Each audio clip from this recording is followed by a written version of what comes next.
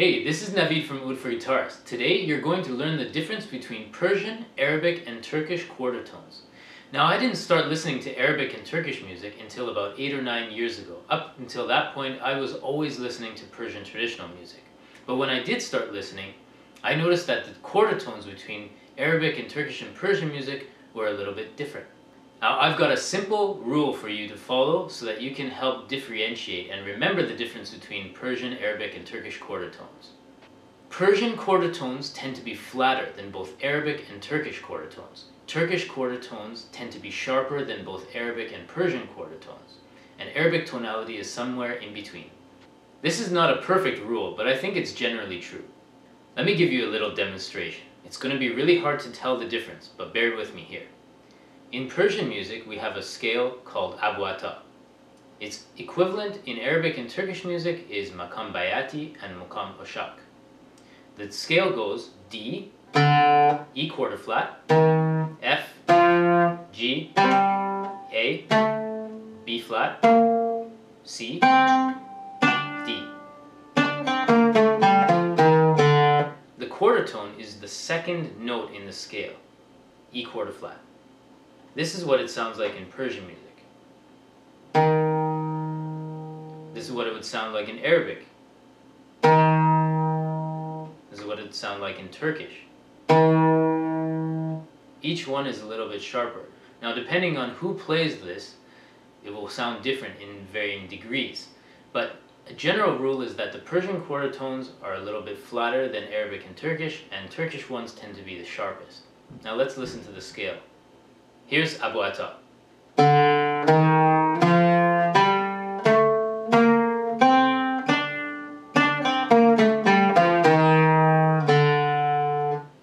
Makam Bayati.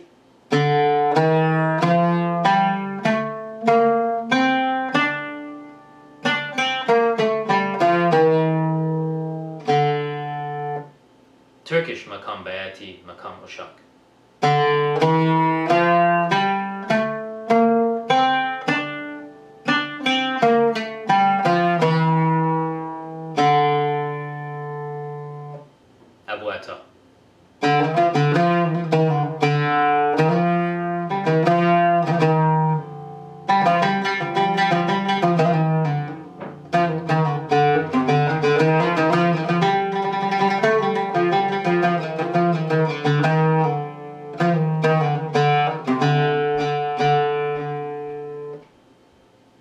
Bayati.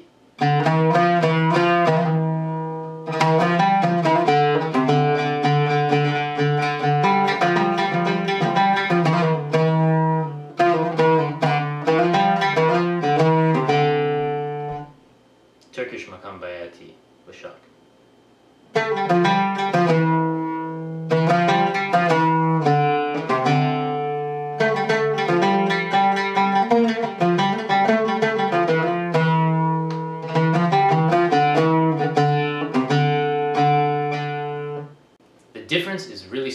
But it is there. And this is really important for oud players because we have all the flexibility in the world to play our quarter tones flatter or sharper. And depending on the genre of music you're playing, this would be important to remember. I want you to listen to two different songs. One is played by an Arabic ensemble and one is played by a Turkish Armenian ensemble. It's both the same song they're playing, but with slightly different quarter tones. Now just for fun, here's my challenge to you. In the comments below, tell me which one is using flatter quarter tones and which one is using sharper quarter tones.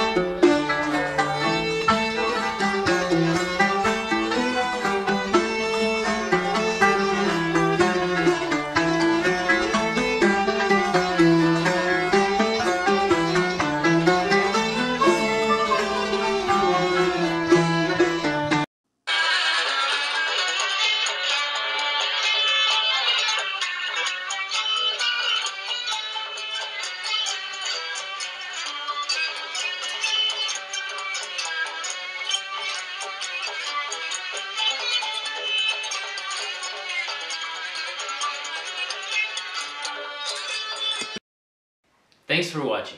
If you want to get the answer to this question, just go to oudforguitarists.com slash quartertones. And while you're at oudforguitarists.com, don't forget to check out our other premium oud learning materials like the Foundation Program and the Maqam Mastery Program. Thanks and see you next time.